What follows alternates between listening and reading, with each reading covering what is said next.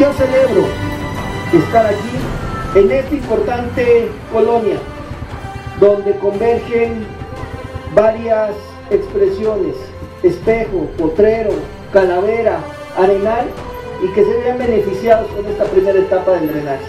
Y que sigamos en esa ruta de trabajo, en esa ruta del esfuerzo y en esa ruta por transformar a Tasco de Alarcón. Lo que él dijo lo está cumpliendo y bueno, para nuestro pueblo, para, para nuestra comunidad.